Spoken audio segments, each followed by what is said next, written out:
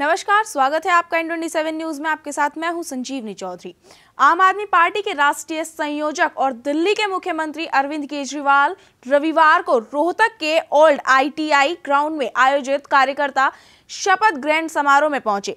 इस दौरान प्रदेश भर में राज्य, लोकसभा, विधानसभा ब्लॉक स्तर और सर्कल स्तर के पदाधिकारियों को शपथ दिलवाई गई।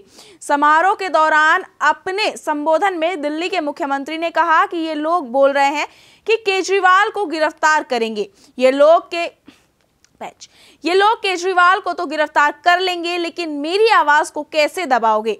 दिल्ली के मुख्यमंत्री अरविंद केजरीवाल ने आगे कहा कि केजरीवाल को गोली मार दो, केजरीवाल मर जाएगा, लेकिन पीएम आपको नींद में भी मेरी आवाज़ सुनाई देगी। मरने के बाद भी आपको मेरी आवाज़ चैन से नहीं सोने देगी।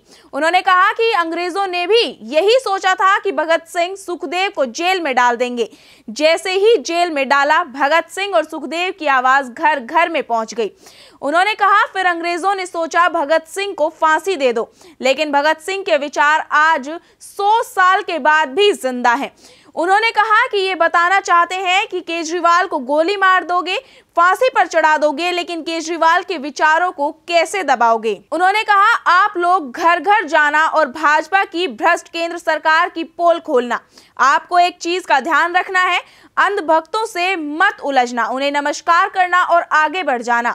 देश में दो कैटेगरी है, एक देशभक्त और दूसरी अंधभक्त।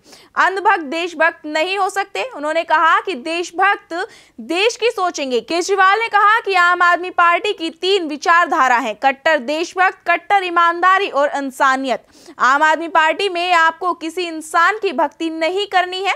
हम किसी बेईमान को पार्टी में नहीं लेते और बिना किसी जात, धर्म को देखे ही हर इंसान की मदद करते हैं। दिल्ली के मुख्यमंत्री ने कहा कि पूरे देश में भ्रष्टाचार, गुंडागर्दी, लूटपाट हो रही है। प्रधानमंत्री नरेंद्र मोदी कहते हैं कि वो भ्रष्टाचारियों के खिलाफ लड़ रहे हैं। वे उनको कहना चाहते हैं कि पीएम मोदी यदि भ्रष्टाचार के खिलाफ लड़ रहे हैं होते तो सबसे पहले केजरीवाल उनको समर्थन करता, क्योंकि वे देश के लिए आए हैं। यहाँ जितने लोग बैठे हैं, सब देश बदलने की उम्मीद लेकर आए हैं। उन्होंने कहा कि पूरे देश में यही नोटंकी चल रही है।